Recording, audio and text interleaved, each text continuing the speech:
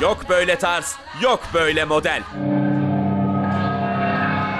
Ayakkabı Oscar'larının dağıtıldığı geceye damga vuran çok ilginç trendler görücüye çıktı. 90'lı yıllara damga vuran, pek çok kişinin çocukluğunda iz bırakan Özgür Billy'den esinlenilen tasarımlar. Minik melekler için üzerinde haresi olan kanatlı ayakkabılar.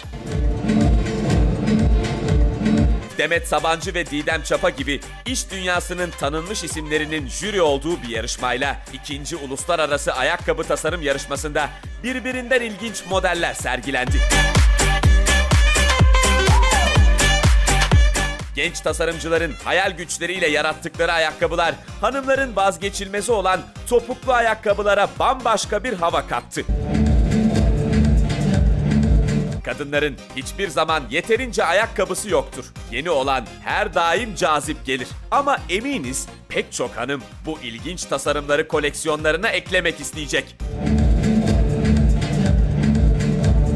Tasarım yarışmasının gözdesi ise ünlü model Özge Ulusoy'un tanıttığı atlardan ilham alınarak üretilen bu ayakkabıydı.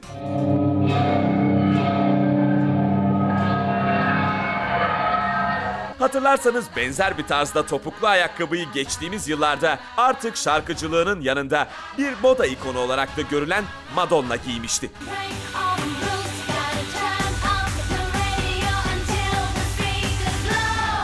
Gecenin sonunda ayakkabı Oscar'ları sahiplerini buldu. Akılda kalan modellerse 2017'nin ayakkabı modasını şimdiden belirledi.